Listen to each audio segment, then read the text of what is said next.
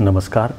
सभी को good morning. मैं शुभकरण, सहायक आचार्य ई एफ़ एम आज हम बीकॉम पार्ट प्रथम वर्ष के विद्यार्थियों के लिए ई एफ़ एम पेपर प्रथम बिज़नेस इकोनॉमिक्स व्यवसाय कर शास्त्र में यूनिट संख्या थर्ड का अध्ययन कर रहे हैं, जिसमें हम दीर्घकाल में उत्पादन फलन फलन लॉन्ग टर्म में प्रोडक्शन फ़ंक्शन का हम चर्चा कर रहे हैं। इसमें हमने आज का जो टॉपिक चुना है, वो है पैमाने का प्रतिफल रिटर्न टू स्केल पैमाने के प्रतिफल, जैसा कि हमने पूर्व के वीडियो में हमने चर्चा की थी कि समोत्पत्ति वक्र क्या होता है और समोत्पत्ति वक्र की विशेषताएँ कौन कौन सी हैं। उसी क्रम में हम पैमाने के प्रतिफल का हम अध्ययन करेंगे। यहाँ यहाँ पर दीर्घकाल में ही ये पैमाने के प्रतिफल को क्रियान्वित किया जाता है। किस प्रकार से? क्योंकि समोत्पत्ति वक्र में हमने बात की थी कि उत्पादन के साधनों में परिवर्तन करके उत्पादन समान मात्रा में जब प्रोडक्शन किया जाता है, इसी क्रम में हम पैमाने के प्रतिफल में देखेंगे। तो पैमाने के प्रतिफल से क्या तात्पर्य है? यहाँ पर तात्पर्य है कि उत्पादन के सभी साधनों में समान अनुपात में परिवर्तन करने से जो उत्पादन में परिवर्तन होता है, वो ही पैमाने का प्रतिफल कहलाता है। कैसे? उत्पादन के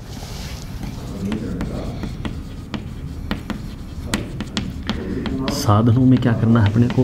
परिवर्तन। जब उत्पादन के साधनों में जब परिवर्तन जब किया जाएगा, क्योंकि जब समान अनुपात में उत्पादन के साधनों में क्या किया जाएगा? साधनों को, उत्पादन के साधनों को या उत्पादन के समान साधनों में क्या करना है? अपने को परिवर्तन करना है।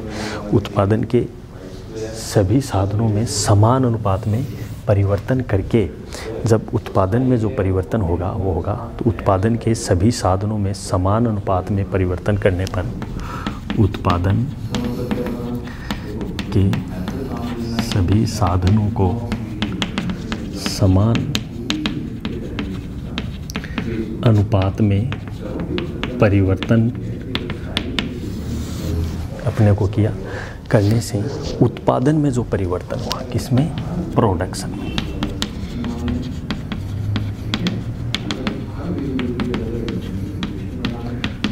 वही क्या कहलाएगा?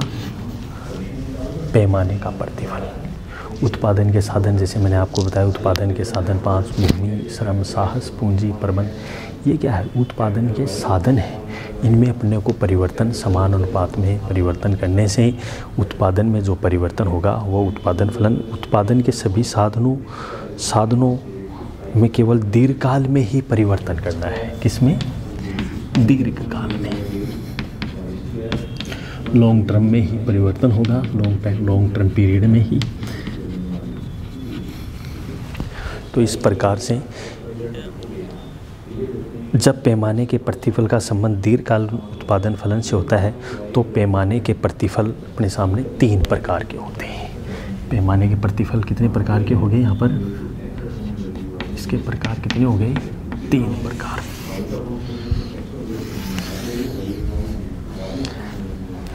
पहला है, पैमाने के बढ़ते प्रतिफल।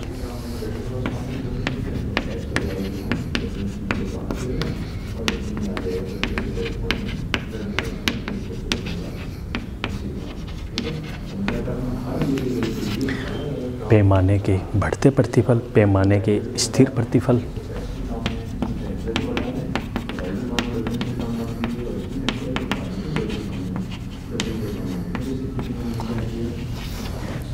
पैमाने के घटते प्रतिफल तीसरा है। पैमाने के घटते प्रतिफल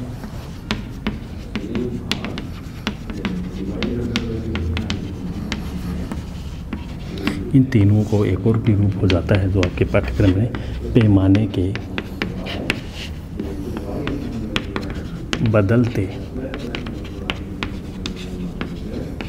प्रतिफल। मुख्यतः हम तीन प्रतिफलों के बारे में चर्चा करेंगे। पैमाने के बढ़ते, पैमाने के घटते इंक्रीजिंग रिटर्न टू स्केल इसे अपन इंक्रीजिंग रिटर्न टू स्केल भी कहते हैं।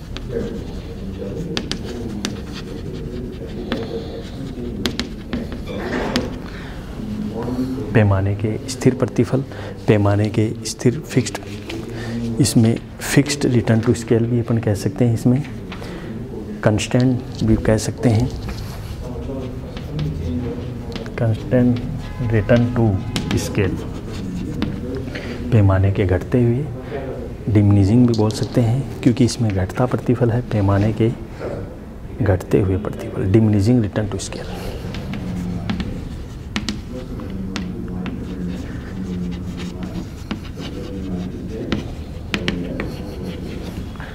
ये तीन प्रकार के अपने सामने हैं और एक बदलते हुए प्रतिफल।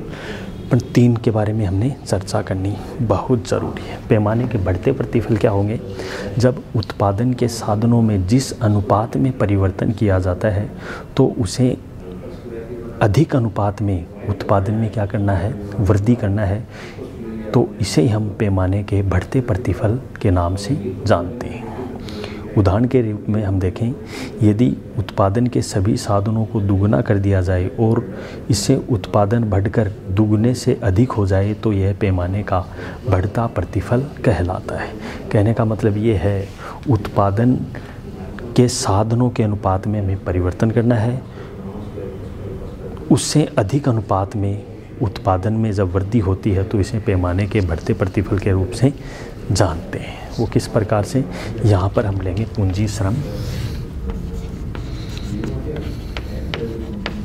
पूंजी श्रम, जैसा कि मैंने आपको बताया कि उत्पादन के साधनों में जिस अनुपात में हम परिवर्तन करेंगे, उससे अधिक अनुपात में उत्पादन में वृद्धि होगी तो इसे हम पैमाने के बढ़ते प्रतिफल के नाम से जानते हैं, जैसे कि उत्पादन के सभी साधनों को दुगना कर दिया जाए तो उत्पादन भी दुगने से अधिक हो जाएगा। तो यहाँ पर श्रम के इकाइयाँ आ गई।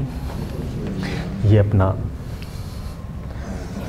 पैमाने का प्रतिफल फाइव प्रोडक्शन दस, पंद्रह, बीस। तो ये बढ़ता जाता है। अपना प्रोडक्शन भी क्या होता है, उसी अनुपात में बढ़ता है। इसे अपन पैमाने को बढ़ता हुआ प्रतिफल कहते हैं। पैमाने का बढ़ता प्रतिफल। इंक्रीज रिटर्न टू स्केल के रूप में कहा जाता है। तो इस प्रकार दूसरा है पैमाने का स्थिर प्रतिफल। पैमाने के स्थिर प्रतिफल की हम बात करें तो उत्पादन के साधनों में जिस अनुपात में परिवर्तन किया जाए, उसी अनुपात में उत्पादन में परिवर्तन हो जाए तो ये पैमाने के स्थिर प्रतिफल कहलाते हैं। कैसे? उदाहरण के रूप में सभी साधनों को दुगना करने पर उत्पादन भी पहले से दुगना होने लगे तो यह पैमाने का स्थिर प्रतिफल कहलाएगा। समान अनुपात में स्थिर ये सेम आ गया गए अपन अपना श्रम पूंजी। स्थिर कांस्टेंट पाँच, दस, पंद्रह। तो इस प्रकार से हम ये इकाया आ गई अपनी प्रोडक्शन की इकाया तो पैमाने के यहाँ पर स्थिर प्रतिफल का रूप माना जाता है कि उसी अनुपात में परिवर्तन होते हैं। तो इससे पैमाने का स्थिर प्रतिफल। दूसरी हम तीसरा हम बात करें पैमाने का घटता प्रतिफल तो उत्पादन के साधनों में जिस अनुपात में वृद्धि की जाती है, उससे कम अनुपात में उत्पादन में क्या होती है? वृद्धि होती है। यह पैमाने का घटता प्रतिफल कहलाता है। उदाहरण के रूप में देखें कि उत्पादन के साधनों को दुगना करने पर उत्पादन दुगने से कम हो तो इसे हम पैमाने का घटता प्रतिफल कहेंगे। तो इस प्रकार से ये अपना बनेगा पूंजी श्रम। पूंजी श्रम आ गई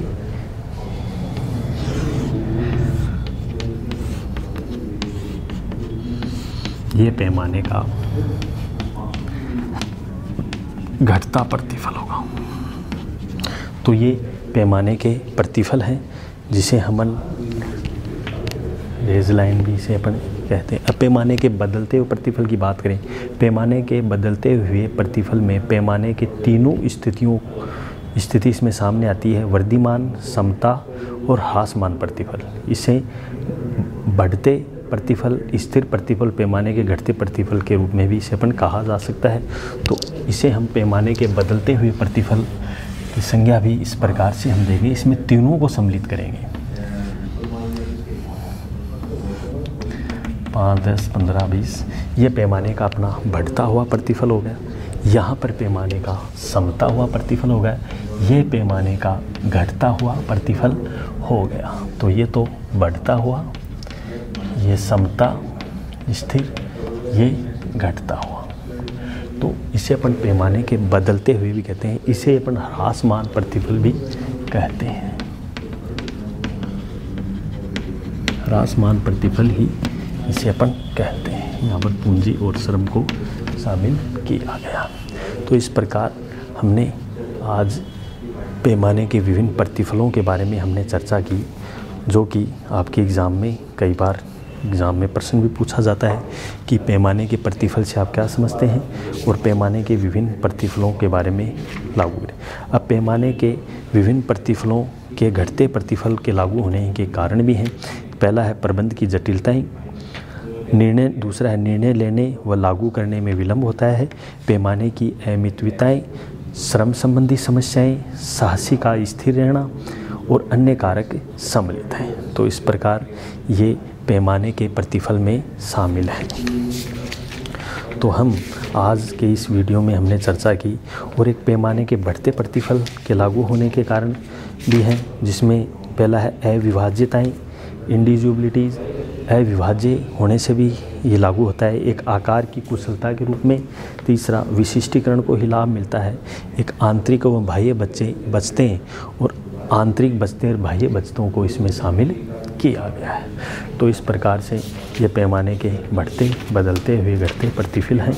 तो हमने आज के इस वीडियो में हमने चर्चा की कि पैमाने के बढ़ते, घटते प्रतिफल के रूप में कौन कौन से तो इसी क्रम में हम नेक्स्ट वीडियो में हम चर्चा करेंगे आगम विश्लेषण के बारे में कि रेवेन्यू एनालिसिस क्या है, आगम विश्लेषण किसे कहते हैं, जिसमें कुल आगम, औसत आगम और सीमांत आगमों के बारे में हम चर्चा करेंगे। फिर आगे हम चर्चा करेंगे लागतों के बारे में।